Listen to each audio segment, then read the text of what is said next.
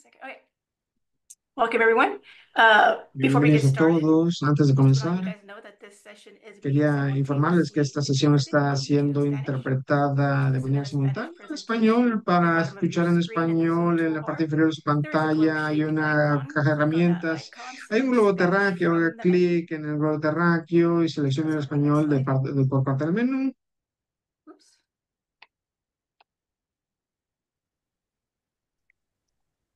Got missing a slide here. Okay.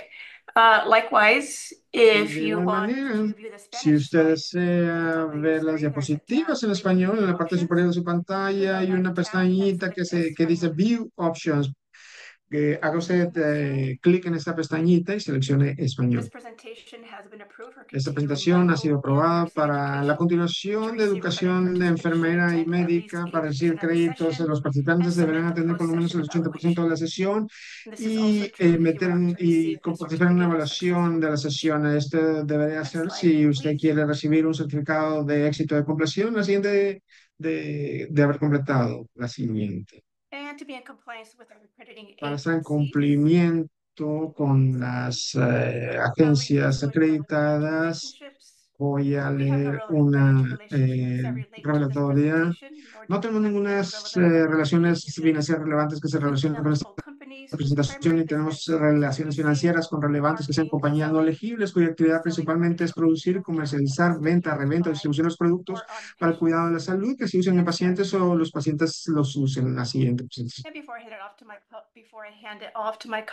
Antes de que se pase a mi colega, eh, un recordatorio que todo mundo va a recibir un correo electrónico de seguimiento con un enlace a nuestra página de webinars en donde usted podrá eh, bajar el PDF de la presentación, las grabaciones y la evaluación. Y con eso se lo paso a él. Uh, is Bienvenidos a todos. Yo me llamo Emily for Littman, soy una de las oficiales programadoras en jefe para los trabajadores medio all ambiente y uh, Migrant free to Network. Estoy muy emocionada de tenerlos a ustedes el día de hoy. Por favor, siéntense con la libertad de poner preguntas en el chat mientras vamos pasando. Vamos a tener un, un espacio para um, preguntas y respuestas as al final y para Um, responder algunas de esas preguntas mientras pasa la presentación.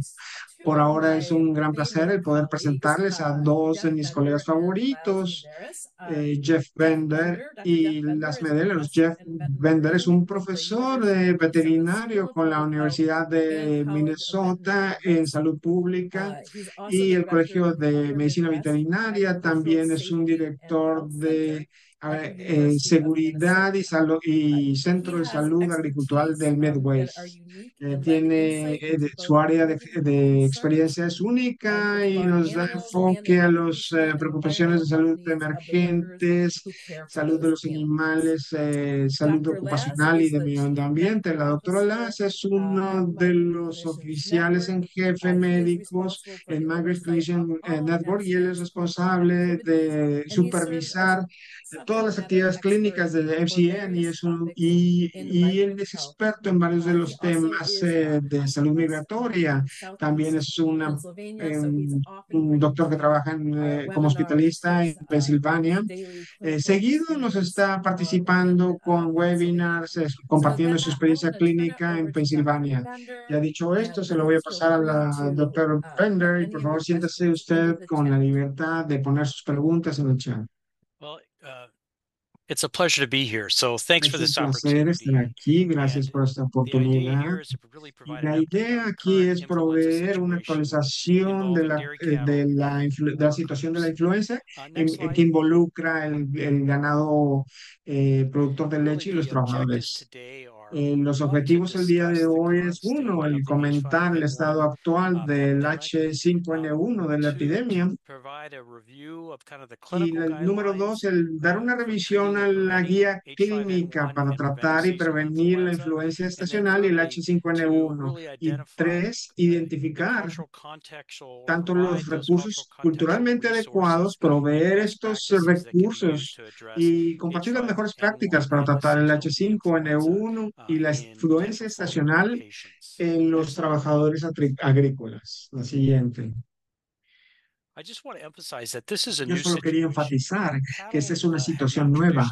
El ganado no ha sido huésped tradicionalmente this de la influenza y yo evolving no he traído el pensamiento, pero esto en realidad recalca la naturaleza que está evolucionando con los virus y en realidad una detección que, eh, que sucedió en marzo del 2024 que nos eh, tomó por sorpresa en esta situación que ha estado surgiendo. La siguiente, de manera tradicional, la preocupación de la de los virus de influenza aviaria, que son altamente patógenos, es la preocupación de que se puedan propagar a las aves de corral.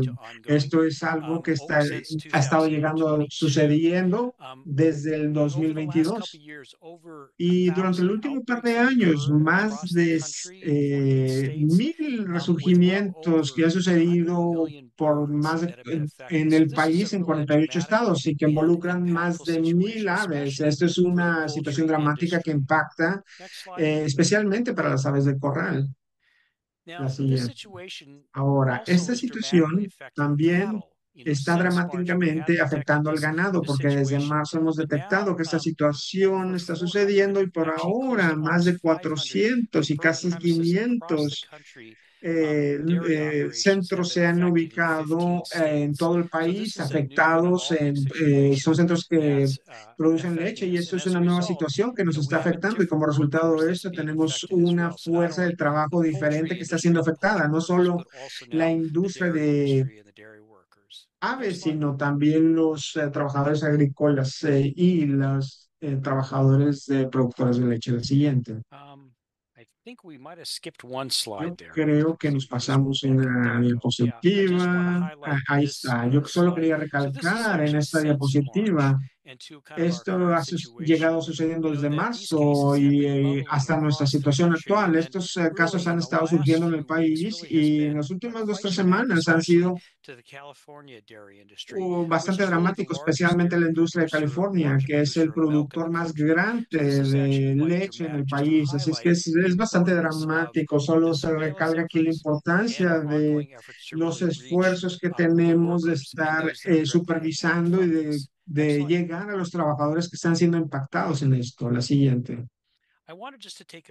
Yo quería solo tomar algunos minutos para, tomar, para hablar un poquito de esta enfermedad en el ganado. Sé que nos estamos enfocando en el, elemento humano como el trabajador, pero con la eh, información limitada que tenemos, esta enfermedad es en, el ganado es diferente en la que vemos en las aves de corral. Seguido en las aves de corral vemos que ellas fallecen se mueren. En esta situación, el ganado, lo que sucede es disminuye en la producción de leche, eh, producen una leche más espesa, tienden a tener eh, problemas relacionados al sistema gastrointestinal, letargia, fiebre, y en realidad no causa la muerte de estos animales. De hecho, muy pocos de estos elementos de animales muerten, pero un buen porcentaje están siendo afectados. Eh, tenemos información que es un poquito limitada de estos reportes iniciales y la, la esperanza es que surjan reportes adicionales que nos den una imagen más clara eh, para saber si el virus está cambiando en estos animales, está siendo más grave o no, eh, porque eso es importante para nosotros el monitorear esto. Otra cosa que quiero enfatizar es eh, la ubre, es, es, donde se encuentra el virus en gran cantidades. Entonces, en realidad, el, el riesgo es eh, potencialmente cuando más se encuentran. Eh, lo otro que hay que enfatizar es que los reportes iniciales del Departamento de Agricultura de los Estados Unidos documenta cómo está esto siendo diseminado. Así es que mucho de esto se disemina por movimiento animal en el cual el ganado se mueve de un lado a otro también cuando hay eh, movimiento entre granjas, ya sea a través de camionetas de, de, leche, esto en realidad juega un rol significativo también dentro de la misma granja, es por la concentración del virus en la, en la en la leche, ya sea eh, máquinas que ayudan a diseminarla dentro de la misma granja. Así es que en el inicio, estamos en el muy inicio de entender esto, pero hay una manera en la cual estos virus están diseminando entre granjas y en las mismas granjas. La siguiente. Otro fenómeno interesante es que los eh, gastos son eh, susceptibles y algunos de los reportes iniciales, básicamente lo que estamos viendo es que los gatos no están muy bien, están enfermos, están eh, muriendo y una de las granjas tienen gatos que se utiliza para controlar a los ratones y un número de granjas están siendo afectadas y un buen porcentaje de esos... Gatos han estado enfermándose y muriendo algo de estos en alguno de estos ha confirmado el virus del H5 influenza y también alguna gente ha reportado que han tenido contacto con pollos o con aves de corral que es un potencial para que este virus salte o se mueva entre, entre diferentes tipos de granjas, digamos, entre granjas de producción de leche a granjas de eh, aves de corral. Eh, de esta información y una reconoción que pueden ver los, los veterinarios es que sí ven gatos enfermos y quizá esto sería una manera de hacerles pruebas a ellos también. Otra preocupación, ahora que estamos viendo esta diseminación entre ganado, es que se pueda regar a otros animales. Una de las preocupaciones especialmente es que se pase a los cerdos, porque los cerdos tienen derecho a receptores para tanto eh, las, eh, la cuestión aviara, como vemos en las aves de corral, como los humanos. Así es que tienen la habilidad o la capacidad de producir virus que son mezclados. Recientemente, la semana pasada, como la detección del H5N1 en un cerdo eh, en la costa oeste. Así es que de nuevo yo recalco la importancia del conocimiento de que este virus tiene la potencialidad de mudar a un lado a otro y la bioseguridad de cómo prevenir infecciones que lleguen a las granjas y también asegurarnos que los trabajadores tienen conocimiento de esto y pensando también que los trabajadores pueden traer dentro de la granja la influenza también. Siguiente. Yo no quiero asumir que todo el mundo ha visto, presenciado una operación de de producción de leche. Así es que dejan de descubrirles que son las actividades que tienen esos trabajadores o pueden tener esos trabajadores. Hay un número de, trabajos y de tareas que tienen en una granja productora de leche. Les voy a decir las obvias, que es ordenamiento de vacas. Pueden estar moviendo las vacas a la área de ordenamiento. También pueden estar tratando vacas que tienen mastitis o otras enfermedades y también pueden estar limpiando áreas en las cuales las vacas están, pueden estar alimentando, cuidando también a eh, a las vacas y seguido estar tratándola en contacto con las leches. Pueden estar ofreciendo también eh, maquinaria, otras cosas, consiguiendo alimento o otro tipo de tractores. Pueden incluso transportar alimento de ganado o también eh, muchas de estas áreas de contacto las obtienen al, al estar alrededor del ganado. La siguiente. También nuestras operaciones de producción de leche han cambiado dramáticamente. Ahorita tenemos robots que ayudan a la ordeña. Podemos tener también lugares rotativos donde la vaca está básicamente rotando y cuando termina la ordeña eh, se bota la leche, como está mostrando esta diapositiva. También otra de las cosas es el reconocer que los trabajadores están seguidos a nivel de la ubre. Así es que, de nuevo les digo, la ubre es donde la mayor parte de los virus están encontrados y pueden ellos tener contacto con la leche. puede que se embarren de pipí, de popó, así es que hay un potencial de patógenos o de cosas que las, eh, los trabajadores pueden estar expuestos. Así es que estando en esta diapositiva, en este nivel alto, a nivel de la ubre, el riesgo potencial es potencial especialmente si la granja está activada con el virus. Brevemente quiero mencionar, esto ha estado evolucionando, o cambiando este número, pero desde el 2022, aquí en los Estados Unidos, ha habido una serie de casos de influenza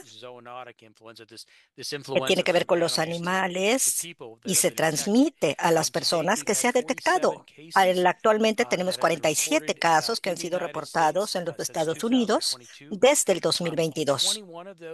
21 casos se atribuyen a aves de corral, sobre todo aquellos que son de hábito, que hay que estar limpiando lo- en las áreas donde viven, estar expuestos a esta situación. Otros 25 casos han estado expuestos a temas de ganado lácteo que tiene que ver con la parte de la ordeña o trata de tratar, an- tratando animales enfermos. Y ha habido un caso en Missouri donde no ha habido más que un caso en humanos sin exposición animal. No hay evidencia de humano a humano, que siempre es una preocupación de una pandemia. Si ahora hay evidencia básicamente de una transmisión de humano a humano, el doctor Lazo va a hablar y va a dar un poquito más a detalle de estas exposiciones y cosas que podemos hacer. Siguiente diapositiva.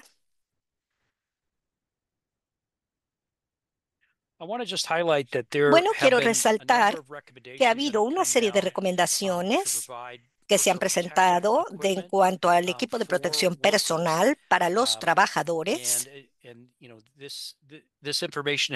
Esta información ha evolucionado, ha cambiado conforme vamos aprendiendo más. Uno de los desafíos, sobre todo al trabajar en un entorno de fábrica de lácteos, es que puede haber mucho calor, puede haber humedad, sobre todo si estamos trabajando en el área de la ordeña y también puede haber algún tipo como de humo. Entonces, este equipo, hay una preocupación, sobre todo para estos trabajadores.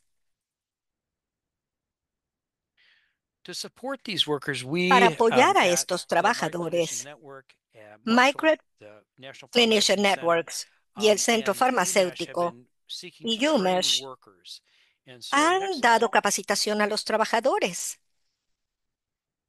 Una de las áreas, como vemos en esta diapositiva, es que sabemos que están conscientes de la importancia, sobre todo de la fuerza de trabajo hispana en las áreas de lecherías. Y sabemos que esto es la mayoría de los trabajadores que están res- son los responsables de ayudar a producir la mayor parte de la leche en este país.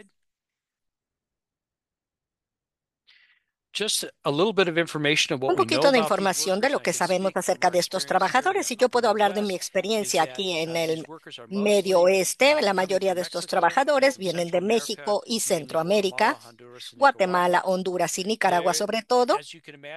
Y como se podrán imaginar, hay una serie de vulnerabilidades para ellos, considerando el estatus migratorio, obviamente las barreras lingüísticas, el poderse adaptar a las culturas.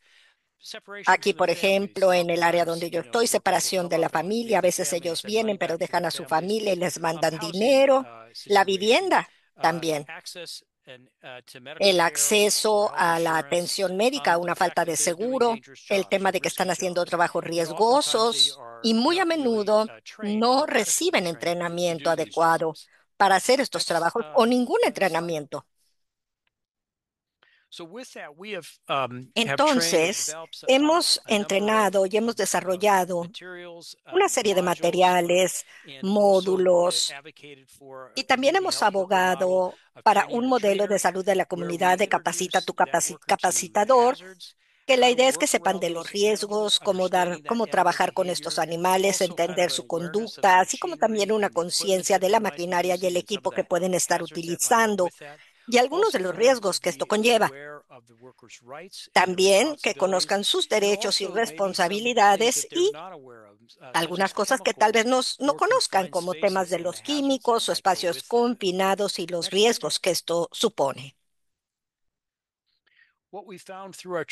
Lo que hemos encontrado en la capacitación es que es muy importante para estos trabajadores en verdad tener material adecuado y personal confiable que les pueda proporcionar esa capacitación de tal manera que se puedan relacionar y que les hablen su idioma natal.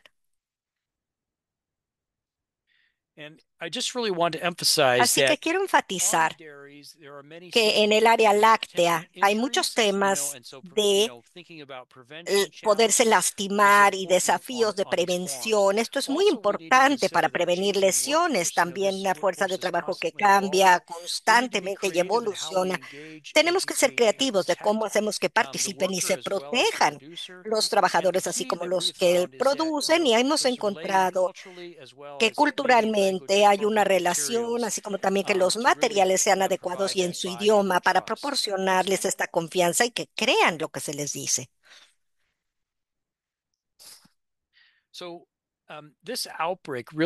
Bueno, aquí vemos que este brote significa muchos desafíos.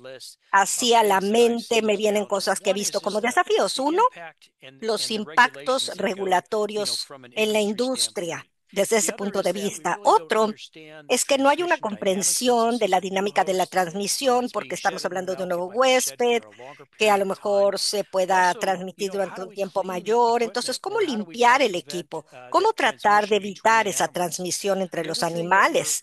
Otra cosa que hemos experimentado es el papel de la fauna silvestre, de otros animales que estén en los alrededores, que a lo mejor son silvestres. Entonces, ¿cómo lidiar con esto? ¿Tenemos el equipo de protección personal correcto? ¿Y cómo podemos hacerlo más fácil de utilizar para que la gente pueda protegerse, los trabajadores? ¿Cómo hacer un mejor trabajo para hacer que participen los productores, los trabajadores y brindar educación de estos riesgos potenciales. También sabemos que hay otros temas como el consumo de leche cruda, la cual puede tener muchos virus. Entonces, ¿cómo desalentar que se consuma? Y también las regulaciones estatales diversas que varían y puede ser muy confuso, sobre todo para un trabajador que a lo mejor está trabajando en diferentes lugares y que enfrenta diferentes reglas con los productores que a lo mejor estamos, están enviando también ganado a través de las fronteras. En el futuro, algunas de las cosas que estamos tratando de hacer en conjunto con nuestros socios es tratar de entender algunos de los problemas, sobre todo de los productores aquí en el medio oeste de la parte superior y cómo podemos ayudarles más. ¿Cómo poder actualizar los materiales que tenemos para poder brindar educación y proyectarlos con nuestros socios en la oficina de extensión aquí en mi zona? ¿Y cómo apoyar a los productores interesados en programas de capacitación para sus trabajadores y seguridad? Así que ahora voy a cederle la palabra al doctor Laszlo. Doctor Bender, um, antes de que vayamos con el doctor Las, me pregunto si podemos resolver una pregunta que dice que usted mencionó que 15 estados se han visto um, afectados en el área láctea y que este número sería mayor si todos los, si todos eh, los um, estados enfrentaran esto. Sí, ¿Cómo es que se mueve el virus? Ha sido una gran pregunta. ¿Se ha movido sobre todo por el movimiento del ganado? ¿Hay, o, o cómo? Entonces, el proporcionar una mayor cantidad de pruebas puede ayudar a responder y aliviar algunas de las preocupaciones, como por ejemplo, ¿por qué no tenemos ninguna detección en Wisconsin? Que es el segundo estado más importante en producción de leche, es porque no tienen movimiento de ganado. Así que sí, yo creo que esto es algo a discutir. Y creo que la otra parte es el tema del impacto en las regulaciones para identificarlo como algo importante en los problemas desde el punto de vista de la industria. ¿Qué significa esto para los productores que no ganan mucho dinero y que viven de cheque a cheque? ¿Cómo les va a afectar? Entonces la idea es ver cómo apoyarles. Gracias. Muy bien, doctor Lass. Gracias, Amy. Gracias, doctor Bender, por este maravilloso resumen de todo lo que tenemos que cubrir en el mundo ordinario.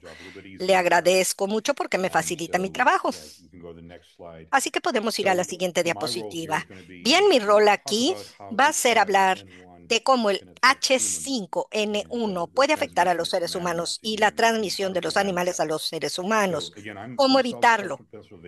Yo estoy en South Central, Pennsylvania y trabajo en hospitales con personas que son hospitalizadas y también de forma ambulatoria. No he visto esto en Pensilvania, nada de H5N1, pero estoy viendo nuestras granjas de lácteos y también se hace investigación con los estudios de medicina para estar conscientes de las posibilidades, porque sí tenemos trabajadores agrícolas migrantes aquí en las granjas lácteas. Estamos en altísima alerta para cualquier posibilidad del H5N1 que pudiera eh, tener un brote. Así que vamos a hablar del H5N1 y los seres humanos. Vamos a ver quiénes están en riesgo. ¿Quién está en riesgo en este momento?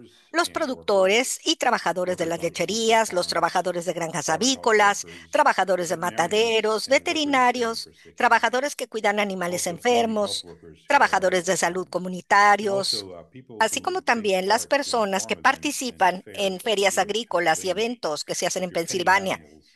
Por ejemplo, si tú estás en una feria agrícola y acaricias algún animal, pues lávate las manos y no te toques la cara ni vayas a agarrar alimentos en ese momento hasta que no te hayas lavado las manos. También los consumidores de leche cruda o bronca. También hemos hecho algunas pruebas y algunos fragmentos y lo hemos visto en la leche pasteurizada, pero no vemos el virus activo. Así que cuando tienes leche pasteurizada, la puedes tomar sin tanto problema, sin tener temor de la reacción que vemos en lo que es el virus del H5N1. Pero no está en la leche pasteurizada. Si tú consumes leche bronca o cruda, no está pasteurizada, entonces puedes tener el efecto completo del virus. Por eso alentamos en este momento que no se consuma la leche bronca.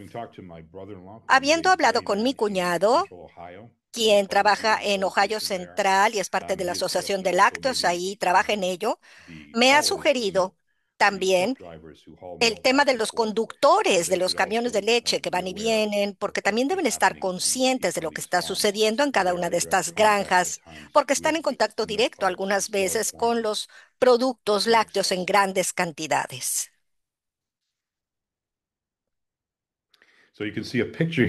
Aquí pueden ver en esta imagen, como el doctor Benner mencionó, en las granjas lácteas normalmente tenemos este tipo de equipo de alto nivel y como el virus está sobre todo en las glándulas mamarias, es muy importante por temas de protección poder utilizar algo que no se caiga fácilmente y es muy importante que no nos caiga directamente en los ojos, nariz o boca. Hay algo que es que sabemos que probablemente no se transmite por el aire, pero aquí están las vías de exposición. Hay que protegernos las manos, porque si tenemos leche contaminada en las manos y nos tocamos ojos, nariz o boca, estamos en riesgo de que el virus entre a nuestro cuerpo. Y lo que no está claro aquí es que los ojos son receptores para H5N1, que es el acceso más fácil en este momento al estar expuesto para poder absorber el virus del H5N1. Aquí podemos ver diferentes formas en las cuales una vaca infectada potencialmente te puede infectar a ti. Si tú tocas algo que está contaminado con el virus y te tocas los ojos, nariz o boca, entonces puedes agarrar el virus. En la primera imagen podemos ver que se toca la boca y la de la vaca. No es la forma principal, pero hay que tener precaución. Aunque sabemos que la leche cruda o la leche bronca, como vemos en esta imagen, es una fuente de infección que entra directamente. Así que si tenemos un líquido contaminado que nos cae en los ojos, por ejemplo, o si comemos y de repente nos cae una gota de esta leche cruda de una vaca infectada, por ejemplo, comemos, bebemos o inhalamos gotitas contaminadas con el virus vivo. Tenemos que lavarnos las manos, estar conscientes de dónde hemos puesto las manos, que ha sido la mejor forma de prevenir el que el virus se transmita de vaca a ser humano. So what are the symptoms of H5N1? ¿Cuáles son los síntomas de H5N1? Pues a veces pueden ser asintomáticos o pueden ser muy leves. Hay otras ocasiones en las cuales uno puede tener los síntomas tradicionales del, del, del catarro, de la gripa, fatiga, dolor de calenturas. Una de las cosas que vemos en estos casos en los cuales eh, los H5N1 se pasa a los humanos eh, son rojos rojos, que se ve como una conjuntivitis todo esto tiende a ser eh, temporal. Eh, normalmente no es tan letal que el paciente tenga que ir a cuidados intensivos, ni, ni siquiera hospitalizado, pero eh, los médicos y las personas que, proveedores médicas deberían de estar al tanto de la, especialmente la conjuntivitis. Si uno tiene a ver a alguien en su comunidad que trabaja en una de estas granjas con conjuntivitis, esto debería de eh, sonar alarmas en cuestión de preocupación para hacer, para poner el H5N1 como un diagnóstico diferencial, así la que sigue. El reconocer el H1, H5N1 y como yo le he dicho ya, si usted reconoce dónde, de dónde viene su paciente, cuál es su medio ambiente de trabajo, esto va a ser, sería muy importante en su diagnóstico diferencial, porque si alguien viene a su clínica y le muestra ojos rojos, se queja de conjuntivitis y de síntomas de la influenza o de la gripe, por favor, pídele su historial médico, porque esto le ayudará y será importante para reconocer como diagnóstico diferencial. Si trabaja con animales o está de alguna manera involucrado en la industria de la producción de leche, está en la población de riesgo, así es que su conocimiento de esto sería muy útil en este momento y eh, lo que usted haría es confirmarlo con pruebas de laboratorio. La mayor parte de las pruebas vienen del Departamento de Salud del Estado. En el cuarto de urgencias la enfermedad de urgencias lo que hace es eh, hacer pruebas con eh, raspados nasales para ver si tiene uno viruses o virus eh, de 14 15 diferentes virus se hacen pruebas, pero no incluyen al H5N1. Sí incluyen la influenza A, la B, la influenza estacional, el COVID, virus incisional respiratorio, el rinovirus y varios diferentes virus eh, para descartar de los diferentes virus. Así es que si uno tiene una de estas pruebas o un panel que sale negativo con estos virus eh, tradicionales, aún así nos queda el H1N1 en el diagnóstico diferencial. La siguiente. Hay eh, nuevas recomendaciones por parte de la CDC para prevenir el H5N1 en los trabajadores eh, para que se siga diseminando. Lo que se recomienda ahora, y es algo actualizado de este mes, del mes pasado, es hacer más pruebas a los trabajadores para los pruebas, para que deben de hacer más pruebas a los trabajadores que no presentan síntomas. Eh, estas personas deben de ser se les debe hacer eh, pruebas y esto es algo que pide el Departamento de Salud pero los centros de urgencias no tienen estas pruebas. El tratar eh, a los trabajadores eh, con, eh, con, el Tamiflu, que es un medicamento que utilizamos para la influenza con, de otros virus y en el pasado, el Tamiflu lo que hace es disminuir o proveer profilaxis a los trabajadores asintomáticos, especialmente a los que tienen alto riesgo de exposición y no utilizan buen equipo protector. El tomar una buena historial, el saber dónde trabaja el, la persona, si está utilizando equipo de protección, tienen algunas vacas enfermas en donde trabaja. Estas son preguntas que son bastante importantes para hacerles a sus pacientes cuando uno está haciendo su diagnóstico diferencial, eh, para saber si es un virus eh, regular o estamos viendo algo que es muy patogénico, como es eh, la influencia aviaria. La siguiente. So environment occupational health screening questions for the primary que hacerles eh, preguntas de eh, salud ocupacional eh, es importante. Yo se los enseño a mis estudiantes médicos, eh, ya sea que están en un cuarto de urgencia, en un hospital. Siempre es importante el conocer mejor a tu paciente y seguido te puede ayudar a un diagnóstico o por lo menos poner, eh, ponerlo en la lista de diagnósticos diferenciales. La ocupación. Descríbame usted qué hace al trabajar. Yo creo que es algo bastante básico. Es importante saber lo que hacen nuestros pacientes. Activities, actividades y causas. ¿Hay alguna actividad física en el trabajo que usted crea que es dañina para usted? Y algunas veces tenemos otras exposiciones a otros químicos. A veces eh, no, no utilizan eh, equipo protector porque está muy húmedo o algo más que sea pertinente y poder entender a lo que el paciente está pasando o experimentando en sus actividades diarias si sienten que estas son dañinas. El uso de sustancias, eh, de cuestiones físicas, el saber los químicos, los vapores, el, el ruido al que está expuesto. Esto es dañino para ti. Son, son preguntas bastante básicas, pero nos ayudan a entender al paciente y en dónde trabaja y le ayuda usted a decidir qué hacer a continuación en caso de que usted encuentre a alguien que tenga eh, potencialmente un H5N1 o alguna otra exposición eh, peligrosa. La siguiente. So H5N1, Así es que H5N1 o eh, influenza aviar. Las cosas a recordar que son eh, trabajadores agrícolas o de la industria lechera y avícola eh, pueden incluso trabajar en la industria de los puercos, como lo ha mencionado la, el doctor Bender en la costa oeste. Por, tuvimos por lo menos un caso de influenza aviar que estaba involucrada con los eh, cerdos. La siguiente pregunta es, generalmente el público general, yo no diría, no, no me preocupa el público en general en este momento, no hemos tenido transmisiones de humano a humano de H5N1. Cual- todas las transmisiones aparentan haber sido de una vaca o trabajador a un humano.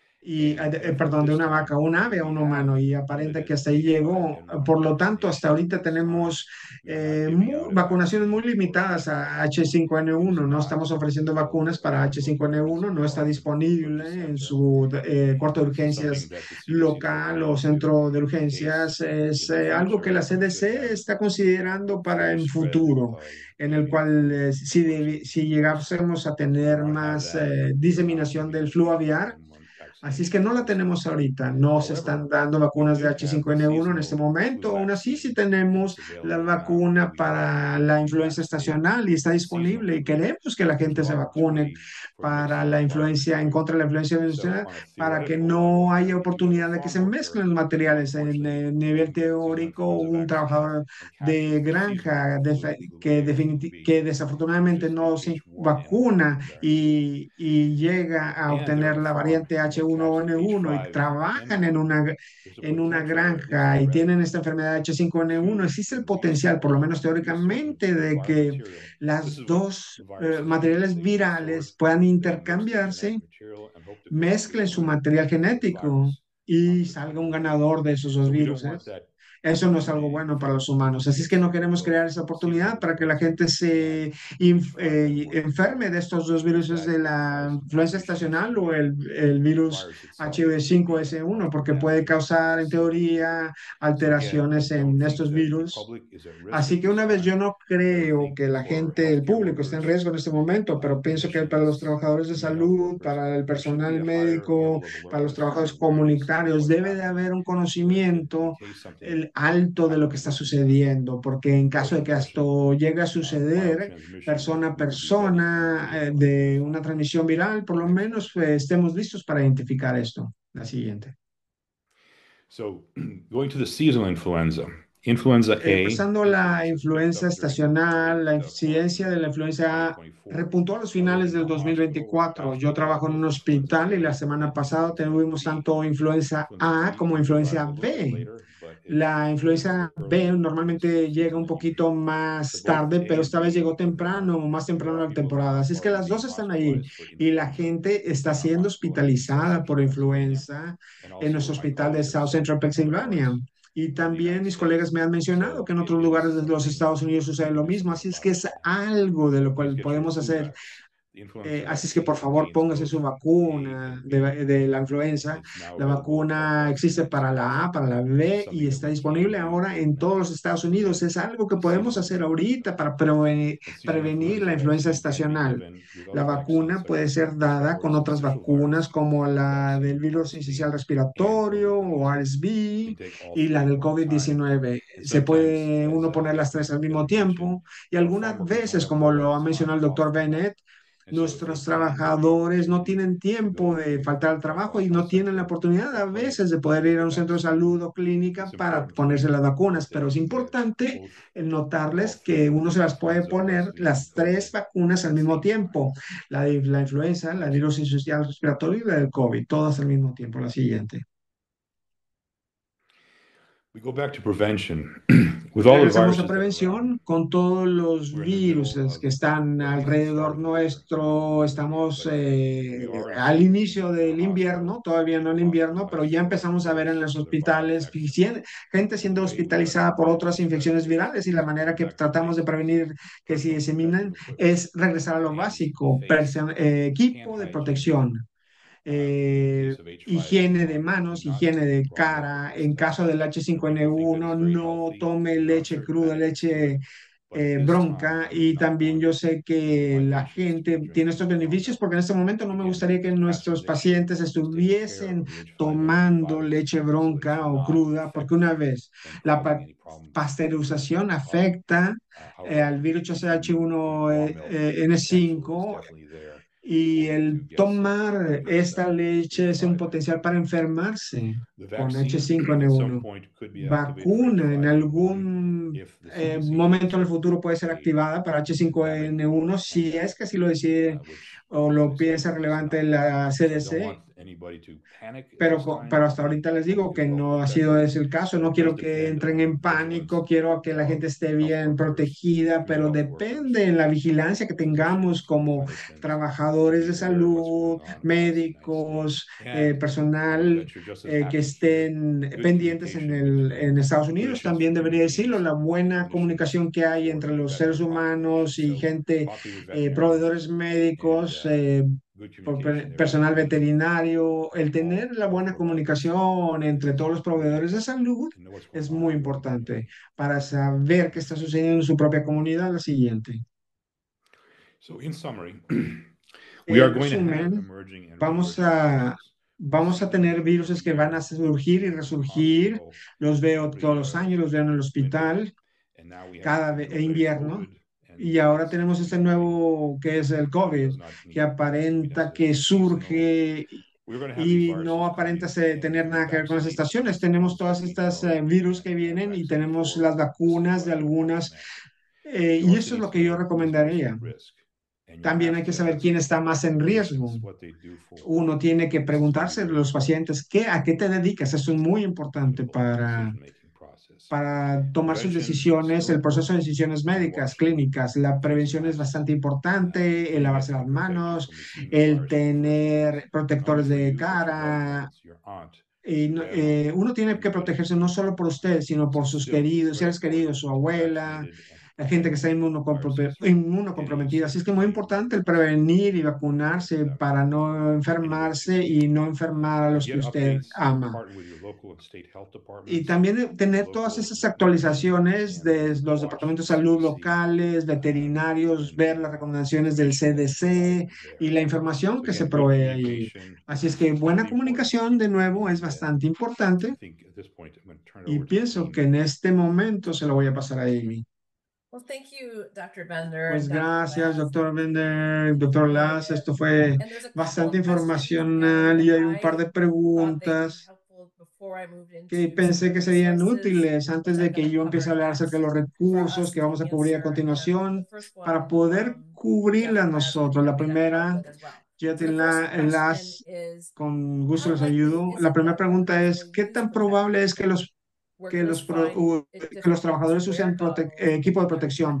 Los trabajadores encuentran el equipo difícil de usar, como los eh, lentes de protección y cómo pueden los trabajadores tener acceso a, a seguro médico, a seguro, a vacunas. Yo puedo responder la primera parte acerca de la frecuencia en la cual los trabajadores están utilizando equipo personal protector.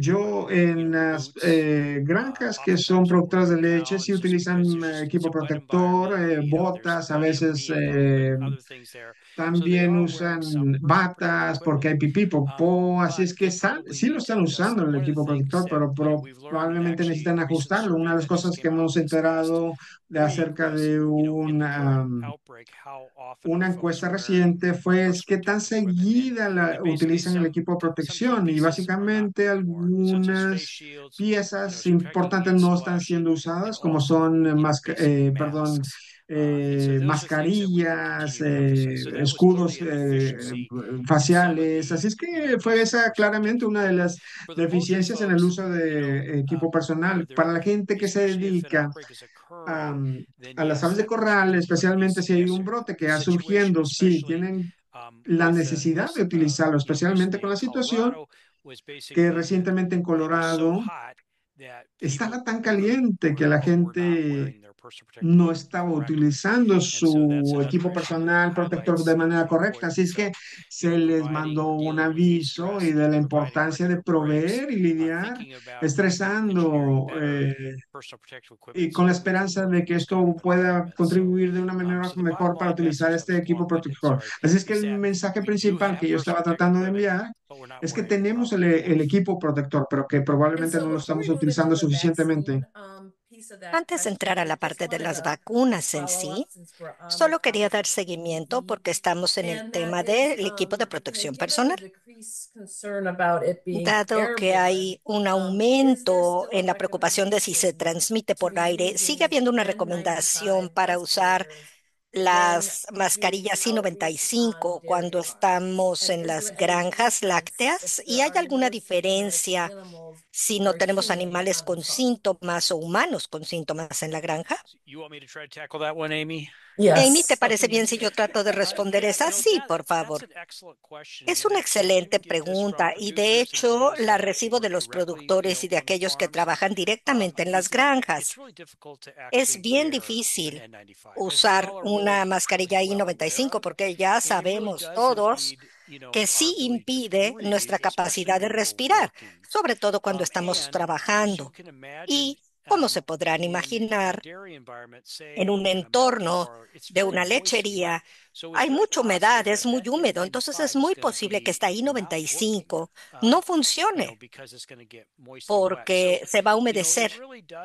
En realidad depende del entorno de trabajo, del ambiente y la situación. Si vemos los lineamientos CS, se han modificado un poquito para reflejar eh, la parte del entorno de trabajo para ver qué funciona mejor. Entonces necesitamos, junto con nuestros productores, decir, probablemente, es decir, no hay evidencia de este virus, probablemente esto sea lo que quieras hacer, a lo mejor considerar alguna protección facial o no tener expuesta tu cara, porque la pipí y la popó también pueden tener patógenos. Tal vez consideremos algún tipo de mascarilla quirúrgica en vez de la I95, tal vez porque a lo mejor se requiere. Sin embargo, sí cambia cuando hay evidencia de que el virus está en la granja. Así que una de las cosas que estamos viendo es que estamos identificando esos altos riesgos, esas actividades, como puede ser si están tratando esa vaca, si están trabajando en la lechería, si están expuestos a esta leche, se necesitan estas precauciones adicionales. Esa sería la recomendación general. Muy bien, doctor Bennett. Yo quisiera decir que en cuanto a mis colegas, nosotros recomendamos normalmente cuando hay un animal enfermo, yo diría, sí, simplemente lleven una I95 por su propia salud, pero estoy completamente de acuerdo contigo. Yo he trabajado en la granja lechera de mi cuñado y tenemos estos lentes para los ojos y tenemos este tipo de eh, gogles que mantienen sin que se empañen como los que se usan para bucear. Sin embargo, tiene que ver con el entorno y definitivamente sí hay equipo de protección que se está utilizando, pero el área húmeda, pues no tiene sentido tener algo que te dure la cara que no va a durar. Ahora, cuando vamos a hacer algo, un veterinario durante poco tiempo para ver un animal enfermo, pues claro que yo esperaría que tengan una I-95 durante ese tiempo breve, sabiendo que la tienen que tirar, ¿verdad? Al terminar. Así que yo protegería a mis veterinarios de esta manera cuando van a ver animales enfermos. Y también en cuanto a la parte de los trabajadores y su salud, sí estamos recomendando que si hay algún animal positivo, que no vayan a la granja para asegurarse de estar protegidos. Pero vamos a regresar al tema de la pregunta de las vacunas. Si necesitan ayuda, con gusto respondo. ¿Cómo van a tener acceso a la vacuna los trabajadores si no tienen acceso a la salud ni a un seguro de salud? Bueno, la disponibilidad de la vacuna, tenemos vacunas para los virus, entonces hay que asegurarte de tener estas para los cuales sí tenemos vacunas disponibles en este momento. Ahora, en cuanto a la H5N1, creo que el CDC tiene la capacidad de aumentar la reducción de esto, como hemos visto que los casos, si vemos que los casos incrementan de humano a humano, no sé la parte financiera ni no sé. Sí, el CDC en realidad ha estado enfatizando, como usted hizo en esta presentación, la importancia de su vacuna del flu estacional. Entonces están dando vacunas extras en los estados donde tenemos estos animales enfermos y trabajando muy de cerca con las organizaciones comunitarias, los centros de salud para los agricultores y otros grupos para poder encontrar formas de asegurarnos que nuestros trabajadores agrícolas estén siendo vacunados sin costo de la gripe estacional. Um, la siguiente pregunta, y después de esto me voy a detener un momento y me voy a adentrar en la parte de recursos porque quiero asegurarme de que todos tengan los recursos. Y si hay preguntas que no alcancemos a contestar, con gusto daremos seguimiento después del webinario. Pero bueno, esta es una muy buena pregunta de una enfermera en Oreiros. Gracias, Cassandra, por preguntar esto. Ella trabaja en la ciudad de Laredo, en el Departamento de Salud, en la parte de inmunización. No hemos visto ningún caso reportado en nuestra área hasta ahora, pero yo me preguntaba si necesitamos estar equipados con una prueba para el H5N1 con cierto criterio que tengamos que tener a la mano. Y de ser así, ¿dónde podemos obtener estos, dónde podemos abastecernos de esto? So I would say bueno, yo diría, no conozco el Departamento de Salud Estatal de cada estado o lo que tienen disponible en este momento, pero si tú estás en el Departamento de Salud Estatal, comunícate con ellos para que veas si se tiene acceso a la vacunación. Lo que sí pueden tener acceso son los equipos de prueba. Entonces, algunos departamentos de salud estatal, creo que ahorita, Amy, tú mostraste por ejemplo, en Colorado. Creo que este es uno de los lugares donde hoy día hay un mayor número de temas lácteos con vacas de H5N1 infectadas. Entonces, el Departamento de Salud, conforme aumentan los casos, está poniendo más disponibles. Sí, es muy importante para todos los departamentos de salud locales y estatales estar, de estar en contacto con los eh, estatales para entender cómo está su escenario en su estado. Y yo recomendaría que si están en Laredo, empezar con el estado, con su departamento de salud. A ver, vamos a hacer una pausa, un segundo, de tal manera que podamos ver algunos de los recursos y luego tenemos algunos comentarios muy buenos en el chat a los que regresaremos y podemos ir a la siguiente diapositiva, por favor. Tenemos una serie de recursos y una serie de lugares donde pueden obtener estos recursos. El sitio web de MCN, el UMASH, el CDC uh, y el Centro Nacional para la Salud de los Trabajadores Agrícolas tienen grandes herramientas uh, para que ustedes um, reciban ayuda y comprendan qué hacer. hay recursos en cuanto a la educación, capacitación, que puedan uh, ustedes hablar con su comunidad. Y había una pregunta ahí acerca de la vulnerabilidad y el temor uh, de los trabajadores inmigrantes. ¿Cómo vamos a hacer que estas recomendaciones CDC se apliquen? Aquí es donde ustedes entran. Yo creo que el poder de la comunidad y del trabajador en la comunidad y su salud, en las ferias o si puedes ir a la granja, hablar con los trabajadores de la importancia de que se Um, their vacunen. Ustedes son las personas en quienes confían y también los ojos y oídos de uh, veterinarios y de centros de salud de la comunidad y del Departamento de Salud, porque ustedes entienden lo que está pasando en la comunidad. Así que realmente quiero asegurarme de que se den cuenta de cuán importantes son todos ustedes en esta ecuación H5N1, al ver el and then hopefully some of these H5N1 y esperaríamos que algunos de estos recursos estén disponibles para ayudarles conforme se acerquen a los trabajadores agrícolas en la comunidad. Siguiente diapositiva, por favor. Uh, we have um, a, a specific web page on the Tenemos una página web en MCN uh, específica dedicada a la gripe aviar. Por favor, aprovechenla. Um. Siguiente diapositiva, por favor. Aquí tenemos más recursos. Aquí tenemos algunas hojas con hechos. Um, Aquí podemos ver la información para Uh, conectarse con UMash. Yo trabajo con ellos y también soy directora asociada de. UMash, así que Uh, tenemos recursos para ustedes ahí. Siguiente diapositiva. This is for um, connecting with Esto es para ponerse en contacto con MCN, que es su hogar para muchos de los recursos, H5N1, no solamente para el uh, from H5N1, diabetes to sino para diabetes, pesticidas. Pueden encontrar información que ustedes necesiten. Siguiente diapositiva.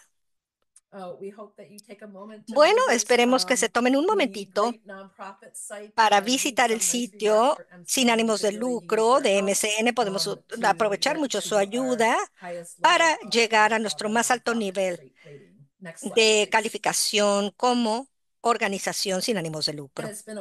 It's been a week. We Bueno, ya pasó una semana. Les, les on invitamos a que vengan a Thursday, nuestro seminario el about jueves, donde vamos a hablar acerca de la defensa y el activismo para los join clínicos que atienden a los migrantes después de las elecciones. And um, this is our evaluation. Y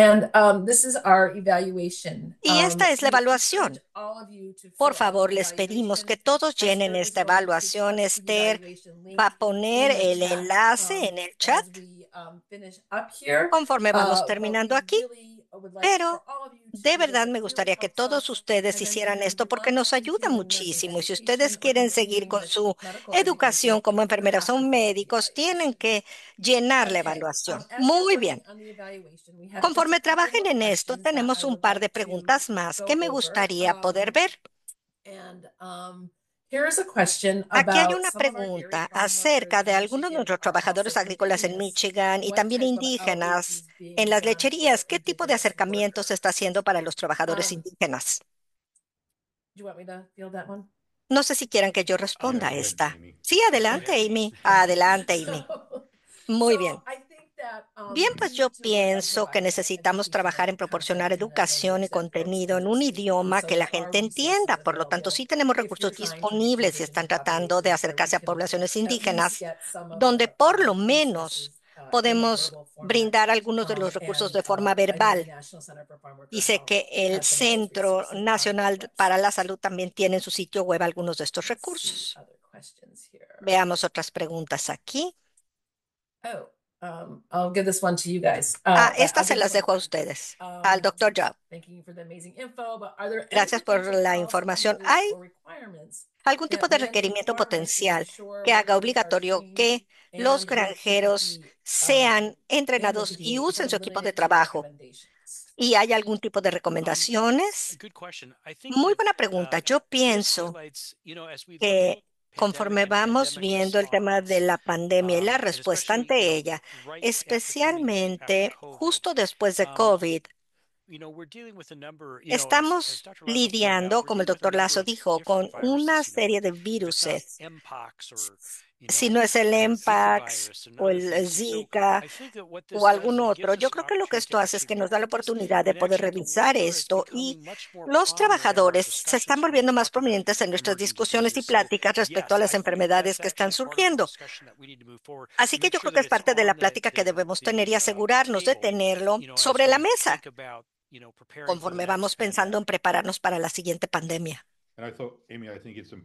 Y Amy, yo creo que es importante enfatizar que en MCN los trabajadores con quienes trabajamos aquí son trabajadores esenciales. Han lo han sido durante COVID, lo han sido en otras situaciones.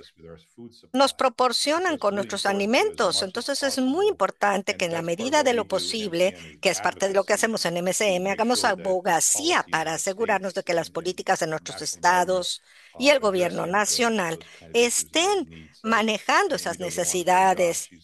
Entonces, Amy también en su trabajo ve mucho de esto y nosotros en MCN y es muy importante de lo que tenemos que hacer para nuestros trabajadores esenciales.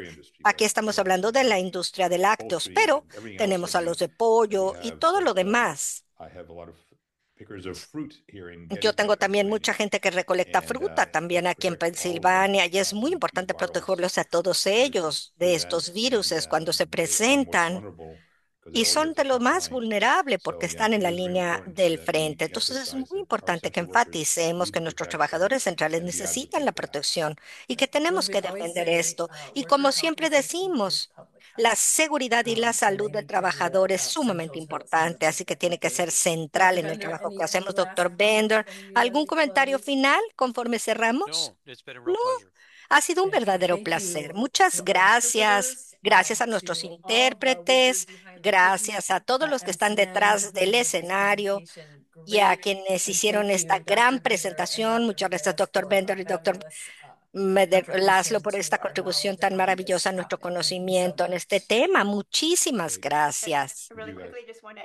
Y yo quisiera agregar rápidamente que por favor chequen su bandeja de correo porque van a recibir un correo electrónico mío con los enlaces a nuestro sitio web donde pueden bajar las copias en PDF de la presentación en ambos idiomas. También pueden llenar la evaluación y ver las grabaciones que llegarán a su correo electrónico. Muchísimas gracias. Gracias, doctor doctores.